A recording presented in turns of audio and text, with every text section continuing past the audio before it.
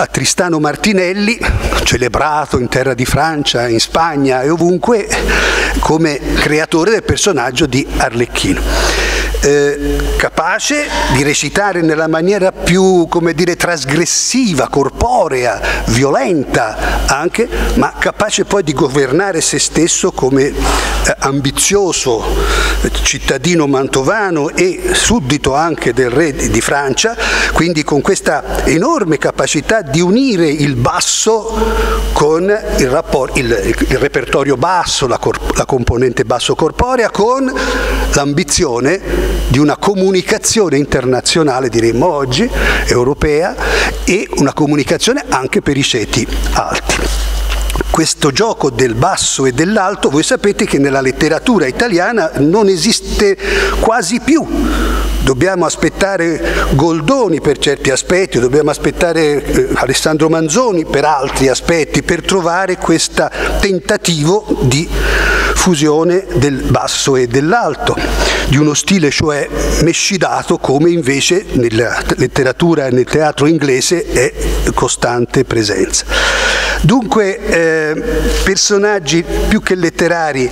umili e l'assunzione del corpo come punto cardine di tutto, corpo inteso ovviamente anche come voce, come emissione del canto, mm, eh, pratica della danza e governo del corpo che voi sapete altrettanto che in, epoca, in questa epoca tra 5 e 600 è tutt'altro. È un, una capacità di governo del, del, proprio corpo molto poco diffusa, sono gli italiani che insegnano in Francia ai francesi come ci si deve comportare come bisogna anche in, in, alta società relazionarsi agli altri. Qui si aprirebbe un capitolo interessantissimo della, dire, della, delle, quella che poi diventa l'etichetta, ma che qui è un'etica del corpo. Quindi eh, in un periodo poi di guerre, non sto qui a ricordare quello che è stato già ricordato, cioè l'estrema eh, tragicità di questo momento, lo scontro non solo fra religioni ma fra, all'interno del mondo cattolico, lo scontro anche con il pericolo ehm, musulmano, insomma si, qui si apre un capitolo di straordinaria importanza, ma loro vivono, i nostri attori vivono in questo in questo mondo, si spostano anche all'interno del Mediterraneo. Dunque capite che la capacità di attraversare questo che è sostanzialmente anche un inferno, beh, è glorioso, questo fatto è glorioso, è straordinario, riuscendo a trasmettere diversi, nei diversi luoghi una sensibilità artistica fatta di uso dei colori, i costumi per esempio, l'uso della eh, vocalità, ho detto prima, della parola parlata e della parola parola cantata, l'uso del corpo in quanto eh, componente coreutico, eccetera, eccetera, cose che ho grosso modo detto. Tutto questo in un periodo di guerra, uno dei periodi più cruenti dell'Europa, a, come dire, a cui si deve aggiungere quella peste di cui morirono alcuni attori proprio in questi viaggi, attraversando numerose frontiere, o non solo, poi le morti delle attrici perché non c'era la penicillina come è noto, quindi attrici che morivano per gravidanze. Dunque è un inferno è un inferno da cui escono fuori queste figurine aggraziate. Poi gli stessi attori non è che rappresentavano se stessi come poveri cristi che soffrivano, si rappresentavano nelle migliori possibili posture. Dunque nasce qui quell'equivoco di una commedia dell'arte tutta fatta di salterelli, grazie sfumate, profili deliziosi, damine, eccetera, eccetera, che è un falso che sono stati gli stessi attori a creare a creare e che invece, eh, invece, era tutto il contrario. La grandezza, ripeto, di questi attori e di queste attrici è proprio di avere sublimato un'esistenza difficile, difficile, soprattutto le donne, ed è un momento straordinario di protagonismo femminile, capaci di, eh, di essere madri, di essere mogli eh, che seguono i mariti, di essere anche più anziane protettrici di attori più giovani, più o meno imparentati. Questa straordinaria, gloriosa impresa delle donne, tra le quali ricordiamo la sublime Isabella Andrini, su cui ora non mi soffermo, ma che è sicuramente una delle poetesse più significative del tempo. Che poi la sua poesia, che i suoi scritti siano nati anche dalla collaborazione con altri membri della compagnia non ci interessa più di tanto perché quando è cessata del tutto la partecipazione di più persone, di più eh, come dire, eh, comites alla creazione di un'opera letteraria e l'opera letteraria diventa opera dell'individuo molto tardi. Allora in un periodo di guerra così difficile si ricompone un'armonia possibile, tanto è vero questo che in Francia furono adottati come rappresentativi di un'armonia pacificatrice no? in un periodo che in Francia era ancora più terribile con gli scontri sia dinastici che anche religiosi fra, fra luterani, protestanti e da una parte cattolici dall'altra. Dunque, ehm, All'interno di tutto questo c'è un tipo di prodotto poco conosciuto certamente gli esperti e gli studiosi lo conoscono molto bene, in cui eh, la commedia dell'arte non è quella che noi crediamo, appunto è la rappresentazione anche di violenza, di tragedie, di eh, assassini, di eh, morti per sofferenza di vario genere, è quella che si chiama il genere dell'opera regia. Dunque ribadisco questo concetto, opera regia come anche eh, source, fonte per il teatro europeo di origine non italiana.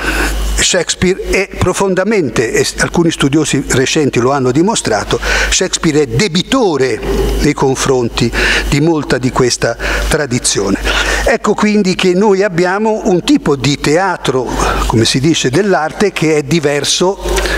in queste mie descrizioni, volutamente anche un po' tendenziose per correggere, per correggere una, un costume interpretativo, una lettura banalizzata dalla maggior parte poi dei teatranti perché l'Arlecchino che fa quel grandissimo attore che è Ferruccio Soleri, cito questo perché tutti l'avete visto, è tutto pulitino, è tutto toscano-fiorentino, cioè di quella tradizione tutta ripulita post-ottocentesca, quella che trasforma Pinocchio in un bravo bambino. Arlecchino è il burattino, era il burattino, ma la logica di Collodi, che come sapete compose questa parte non nella prima edizione del suo romanzo, ma successivamente, era per venire incontro a quello che era l'ambiente della Firenze, che era poi la capitale, stava diventando la capitale d'Italia. Quindi c'è tutto un problema del rimosso che riguarda la commedia dell'arte ma riguarda tanti altri aspetti, della, anche Manzoni è stato frainteso in questa direzione. Ecco, dunque si tratterebbe di scrostare dagli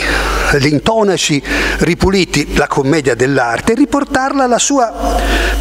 io mi permetto di dire purezza, la sua purezza multimediale diremmo oggi, cioè questa ricchezza e questa mescolanza di stili e di, eh, come dire, anche di culture, perché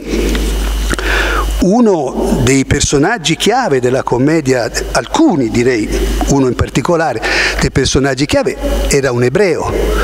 E l'ebreo aveva una duplice natura in questo caso, stava con questi personaggi un poco douteux, direbbero i francesi, eh, sospettabili, e dall'altra parte però era anche molto stimato nell'ambiente colto, era uno scrittore, e mm, Leone de Sommi,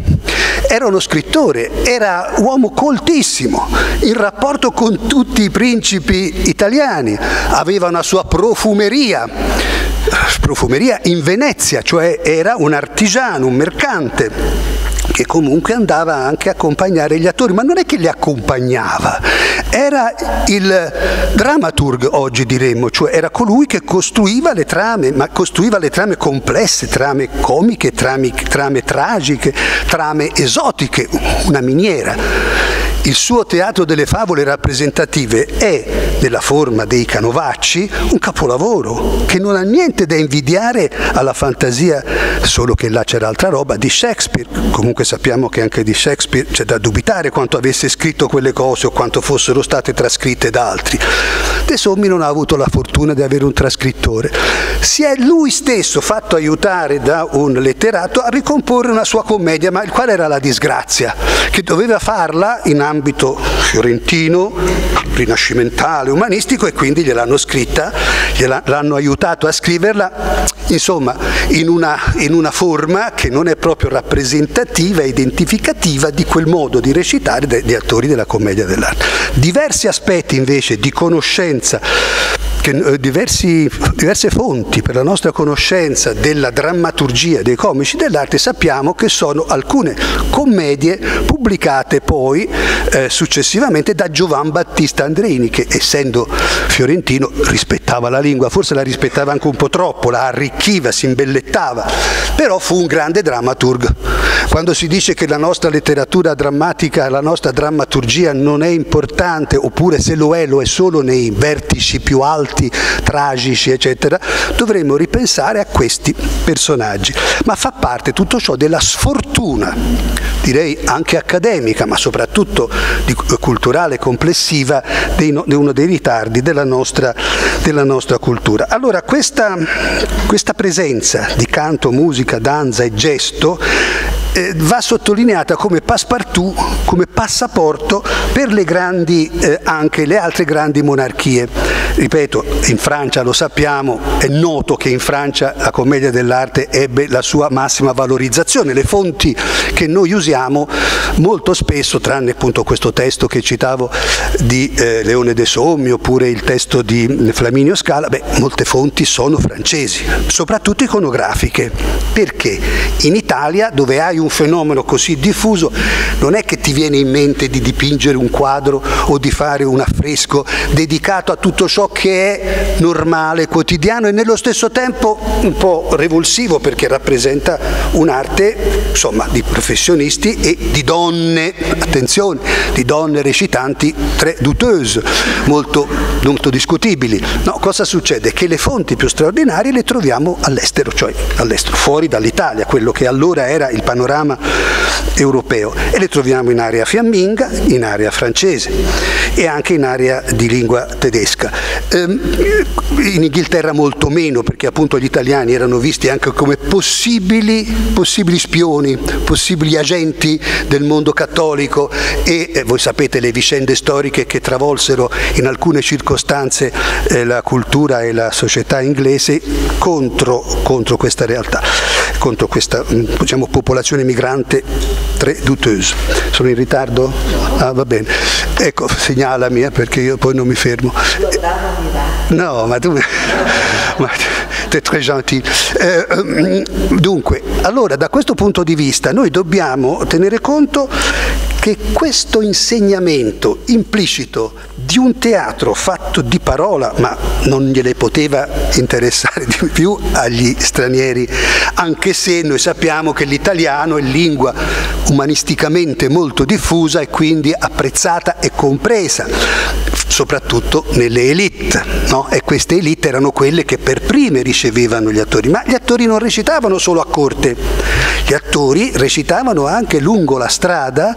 eh, quando attraversavano le Alpi in direzione della Francia, si fermavano a Lione. A Lione non, una, non c'era una corte così rilevante come eh, quella di Parigi, era città, di, città significativa, ma recitavano anche per il pubblico, diciamo, noi diremmo normale, cioè per i cittadini, che poi non erano i poveracci, ma evidentemente recitavano lì, ma poi proseguivano e avevano delle soste periodiche, poi si recavano verso il nord, attraversavano a Calais e si recavano in Inghilterra, dove anche non è che andassero alla corte, recitavano anche eh, con l'appoggio appoggio e con la collaborazione non sempre gradita ma comunque con la collaborazione dei, degli attori inglesi che talvolta entravano nelle compagnie italiane. E così lo stesso discorso riguarda la migrazione verso il mondo orientale con passaggi certamente incardinati sulle corti. Eh, e qui bisogna sottolineare come tutto ciò rappresenti l'Italia, ma non l'Italia intesa ovviamente come Stato, ma rappresenta la grande cultura rinascimentale che, voi lo sapete bene, si rappresenta ovviamente con i pittori che vanno ad affrescare eh, palazzi significativi, viene rappresentata anche dalla menzione dei grandi scrittori, ma non secondario la presenza degli attori. Tracce che sono state studiate eh, in pitture, in fonti eh, pittoriche, fonti anche mm, eh, in affreschi eh, di, di varie città d'Europa, dimostrano la grandissima penetrazione di tutto questo. Allora ecco che abbiamo eh, da questo punto di vista un certo orgoglio che la nostra cultura, cominciando da quella statuale, non ha particolarmente valorizzato e io qui colgo l'occasione per ripetere per l'ennesima volta la necessità di una valorizzazione di, bene, di questi beni culturali, come dire, intangibili, ma comunque documentati da alcuni quadri significativi, valorizzazione di questo che è un patrimonio culturale, come si dice oggi, dell'umanità. Eh, ecco, eh, questa è stata una cosa che ha subito varie, varie avversità, ma eh, anche ha prodotto dei, eh, dei semi significativi. L'elemento fondamentale di questo teatro, voglio ribadirlo con attenzione, è l'elemento parodico. Ora noi della parodia abbiamo un giudizio tendenzialmente riduttivo, ma quasi, io non dico tutta, certamente non tutta, ma gran parte della nostra letteratura è parodica, anche, qualora, anche quando non lo si coglie perfettamente questo. Eh, naturalmente lo si capisce in un libro importante come Il Pinocchio di Collodi, ma tutto il teatro di Carlo Goldoni va in questa direzione, cioè non è teatro solo della rappresentazione della realtà sociale veneziana come è stato detto e anche come in parte è vero, ma è anche gioco di parodia di forme teatrali del tempo. Carlo Gozzi e tutta l'opera, tutto il melodramma non, non è fondato anche su citazioni e rovesciamenti della tradizione, innovazione della tradizione. E eh, questo esercizio della parodia naturalmente ha una, un aspetto riduttivo rispetto alla, in confronti della, della, grande letteratura, ma è un elemento costitutivo della nostra, della nostra cultura. Certo, è difficile inalberare la parodia come emblema della nostra cultura, e non lo è neanche, ma eh, è comunque una componente significativa. Allora, mh, il, quello che è compito un po' dello studioso, ma occorre non uno studioso di letteratura, uno studioso di storia, uno studioso diciamo, dell'antropologia anche umana, eh, dell'antropologia cosiddetta, come si dice, culturale, e, e occorre qualcosa di più complesso, perché le fonti più significative per la conoscenza di questo tipo di eh, vita culturale, teatrale, dove dobbiamo andarle a cercare? Noi dobbiamo andarla a cercare negli archivi di Stato, laddove questi archivi, come in Italia ad esempio, sono straordinariamente ben organizzati. Eh, secondo me uno degli orgogli della nostra cultura è di avere saputo eh, tenere in piedi questo, questo patrimonio straordinario, ma negli archivi francesi, non solo nel grande archivio parigino, ma anche in archivi minori. Ora non è il caso di entrare in questi particolari, ma Qual è il punto? Che dobbiamo eh, estrapolare tranne che a Firenze, dopo dico questo, estrapolare le fonti teatrali all'interno di fonti spesso diplomatiche. Perché? Perché le notizie sugli attori passano, a, gli attori, le attrici, i viaggi degli attori passano attraverso quelli, quei rendiconti di polizia urbana, di controllo della circolazione dei migranti tema che conosciamo, ecco, eh, eh, eh documenti conservati eh, nell'archivio della polizia appunto della, eh, del, del, e anche diplomati, negli archivi diplomatici del Granducato di Firenze così come a Venezia, nell'archivio di Venezia con la differenza che scusate l'orgoglio ma quello di Firenze è un archivio organizzato molto bene quello di Venezia è un archivio meraviglioso nel quale se qualcuno ci ha lavorato non è facile andare a reperire le fonti ma nell'archivio di Parigi nell'archivio, nell'archives di, di Parigi si può anche anche cercare di rintracciare qualche traccia, e lo, lo si è fatto a Madrid, eh, o meglio insomma nell'archivio di Simancas, e, e così via a Lisbona. Cioè è una grossa, una grossa fregatura questa, perché i nostri attori viaggiavano e lasciavano tracce. Da, perché le lasciavano soprattutto là? Ma perché in Italia tutto era molto conosciuto. Quando un fenomeno è noto, tu lo vivi, tu ne parli, tu lo rammenti, ma non lo, non lo documenti subito perché fa parte del quotidiano. E allora, invece, laddove l'apparizione era una sorprendente visione, una sorprendente capacità di ascolto, perché ripeto, andavano là, cantavano, cantavano gli attori, andate a prendere l'attore fiammingo, non, avevano questa capacità, questo risulta dai documenti, anche perché cantare in fiammingo, insomma, i barcarol veneziani allora. Allora, no, ma con tutto il rispetto dei fiamminghi, diciamo questo, è sempre bene dirlo questo. E,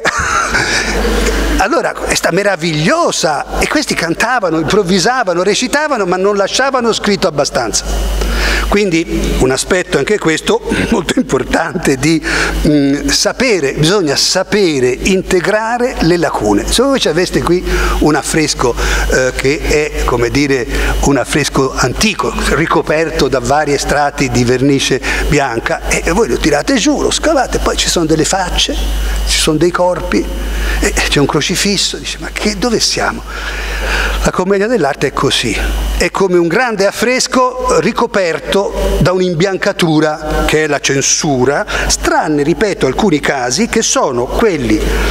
della grande biblioteca, mi permetto di ripetere, dell'Archivio di Stato di Firenze, ma anche negli archivi vaticani. Negli archivi vaticani sono moltissime informazioni